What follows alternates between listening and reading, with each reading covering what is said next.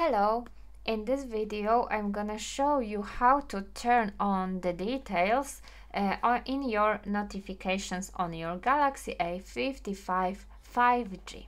Let's do this.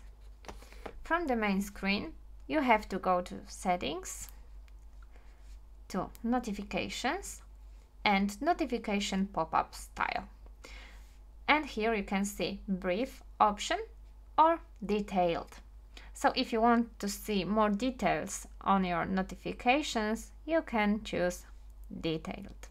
And now all notification pop-ups will appear as detailed.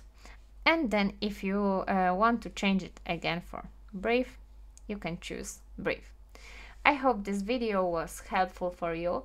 If you want to know more about your Galaxy A55 5G, let's search for other videos uh, about this series on our channel and let's see each other again in one of the videos.